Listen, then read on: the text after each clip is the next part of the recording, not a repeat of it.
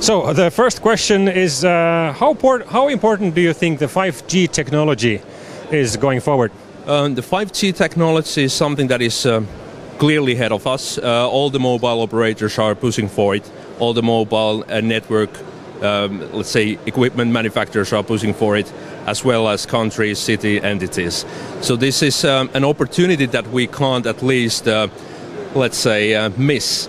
We, we need to go for it. We need to look for what it can bring to us. Most definitely, it will bring, bring us the infrastructure build up that will happen already by 2020 onwards. Okay, so how do we see Exel participating in this trend, and um, what do you see as a potential for Exel? Um, for Exel, um, we've initiated um, a consortium project together with Nokia for now for developing the lighting pole, which is um, the future smart cities uh, base station for, for 5G networks. And uh, this is the first thing we've been doing. And, and there we've been working clearly together with uh, Covestro on, on that side, um, especially on the resin.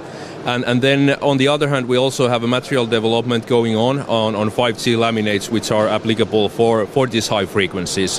When in high frequencies, what happens is that we, we face an issue where a signal is very short and it will attenuate even in empty space. So now the materials in front of antennas and signals will come even more important, and that's why we are now putting uh, efforts on, on bringing this up.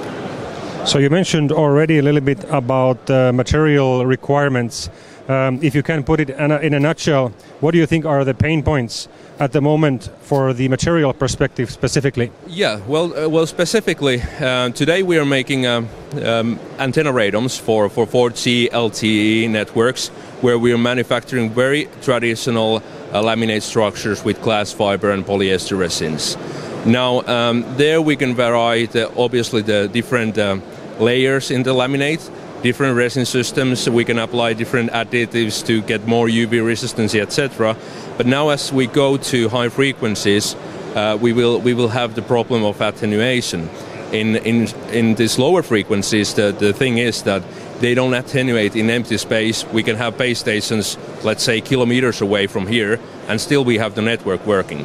Now, when it's a long signal, but when we go to 5 5G era, it's a shorter signal, and what will then happen is that we need to have a dense networks and a lot of antennas.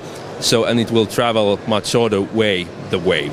So now uh, the, the, challenge will be that we make, um, let's say, air-like materials. So if you ask from a company like Nokia, what you would like to have in front of your signal, they would say air preferably. Well, however, that's not possible. So we need to make something next to air, still having mechanical structure and still being able to uh, resist different environmental effects. Cool. So we'll be seeing a lot of these uh, going forward. Uh, what is the, the benefit of using Desmocomp for Exel and what benefits do you see specifically using Desmocomp? Yeah, well, Desmocomp is, is one of those resins that um, I see clearly having a lot of potential, and especially in the smart city lighting pole.